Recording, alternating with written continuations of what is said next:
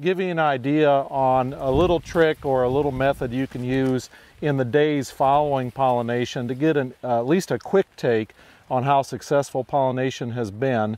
Uh, it won't be something that you can use necessarily to estimate yield, but you can at least get a quick take on whether or not pollination was successful or perhaps whether pollination was a complete failure. So first we're going to look at this ear where the silks are have just begun to emerge overnight and uh, and we'll open it up. We'll show you the silk as, uh, as they're attached to the cob.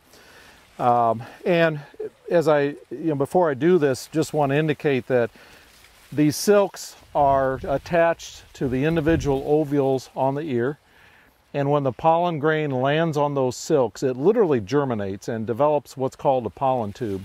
And that pollen tube penetrates the silk and develops inside of the silk carrying the male genetic material downward towards the ovules. And within about 24 hours of landing on a viable silk, that genetic material in the pollen grain will have traveled the length of the silk and have fertilized the ovule. After it's fertilized the ovule, within maybe another 24 hours, the base of that silk collapses and eventually detaches from the now newly developing kernel. And it's that fact that we can use to make an early assessment on uh, how successful or not pollination has been by virtue of how many of the silks are detaching from the ear. All you need for this uh, for this method is a, a good sharp knife of some kind.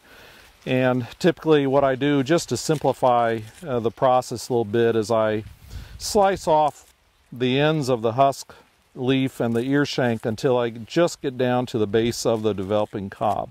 Look, you can see the uh, the the ovules or the the potential kernels there right at the base of the cob.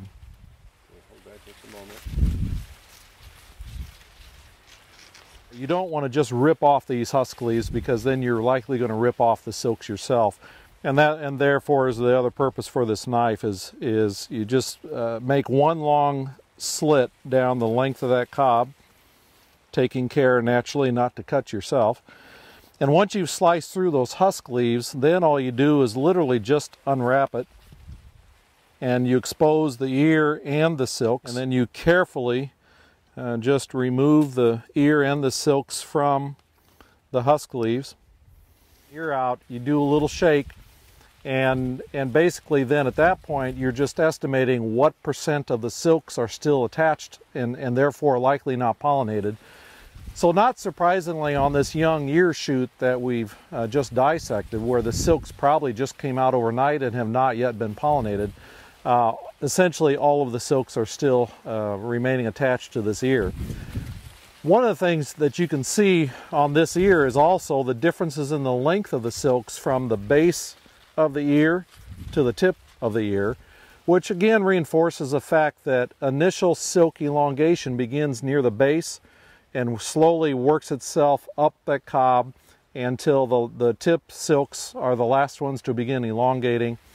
And then you can imagine that on these silks that were just emerging from these husk leaves before I cut open the, the husk, um, these longer silks were the ones that were just emerging from that husk tissue.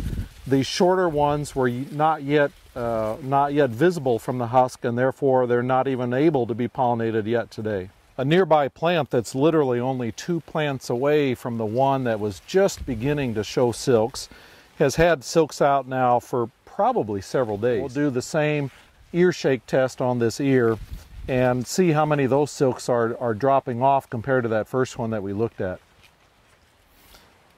And, and, in the process of removing these final husk leaves, you can already see the deterioration of the silks.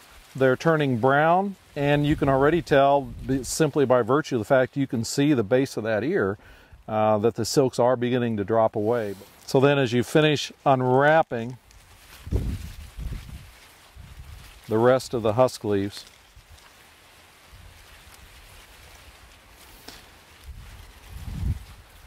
and do the same shake test compared to that first ear that we looked at where almost every single silk was still attached to the ovules.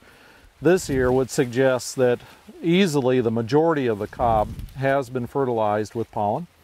Um, and if you look close at the remaining ones that are still holding on, many of them uh, are already beginning to discolor and suggesting that they're, they're very close to the process of dropping off. And so, for all intents and purposes, this particular ear uh, appears to have been nearly 100% uh, successfully fertilized with the pollen. And, and at least so in this particular year, it's gotten through that important stage of the pollination process. Uh, what remains to be seen with continued drought stress, though, is whether the uh, newly developing kernels that are forming as a result of the, of the pollination, whether they will survive uh, without aborting under continu continued stress.